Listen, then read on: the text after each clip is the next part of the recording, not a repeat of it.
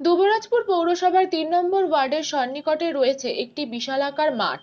আর সেই মাঠে গতকাল মালিক পক্ষ তাদের শ্রমিকদের দিয়ে কাজ করাচ্ছেন। আজ সকাল থেকেই ওই ওয়ার্ডের বাসিন্দারা কাজ বন্ধ করে দেন এবং মাঠের দাবিতে বিক্ষোভ প্রদর্শন করেন। উল্লেখ্য, এই মাঠটিতে ওই এলাকার সমস্ত ছেলেমেয়ে খেলাধুলা করে। এমনকি অনেকেরই দাবি যে, এই মাঠটিতে তারা ছোট থেকেই খেলাধুলা করে আসছেন। হঠাৎ যদি এই মাঠটি চলে যায়, তাহলে আমরা বা আমাদের ছেলেমেয়েরা কোথায় যাবে? পাশাপাশি পুরুষ ও মহিলারা হাতে কোদাল নিয়ে গর্ত করা মাঠটিতে পুনরায় মাটি ভরাট করে দেয়। পরিস্থিতি সামাল দিতে দুবরাজপুর থানার পুলিশ ঘটনাস্থলে পৌঁছায়। মালিক পক্ষ এবং স্থানীয় বাসিন্দাদের সাথে কথা বলে বিক্ষোভ তুলে নেন এলাকাবাসীরা। মালিক পক্ষের হয়ে রামশান্তনু নায়েক বলেন, আমাদের পূর্বপুরুষদের কেনা সম্পত্তি। এখানে আগে আলু চাষ করা হতো। বিগত দু বছর ধরে এই এলাকার লোকজন খেলাধুলা করছে। তাই এখন তারা মাঠের দাবি করছেন।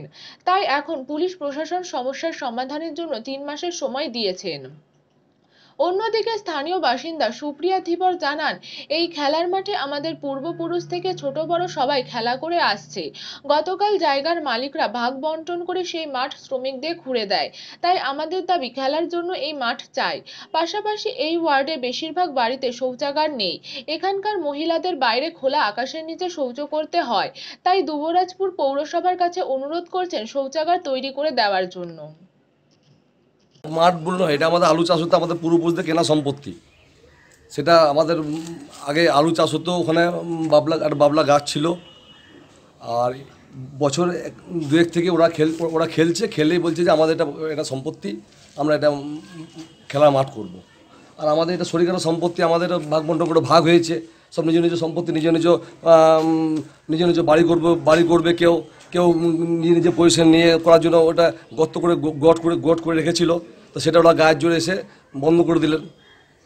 মাঠটা পুরোপুরি ধরে আমাদের ছোট বাচ্চারা, ছোট থেকে বড় অনেকেই অনেক খেলেছে, অনেকদিন ধরে এই মাঠটা আমাদের পূর্বপুরুষ হয়ে যাচ্ছে আর এই মাঠ খেলে কিন্তু আমাদের অনেক জায়গায় খেলতেও যায়, অনেক প্রাইজও পায়। কিন্তু গতকাল আমাদের যে এই মানে জায়গার যে মালিক, তারা এসে কিন্তু এই পুরো বাউন্ডারিটা নিজের নিজের নামে নিজের নিজের করে ডজার নিয়ে পুড়ে দিচ্ছে। কিন্তু আমাদের তো সমস্যা যে আমাদের বাচ্চারা কোথায় যাবে খেলতে? এটাই তো আমাদের মানে উচিত। আমাদের তার জন্য গ্রামবাসীরা বা আমাদের তিন নম্বর ওয়ার্ডে যত মেয়েরা আছে সব এসে এখানে ওদের উপরে হামলা করছে যে আমাদের ছেলেরা কোথায় যাবে?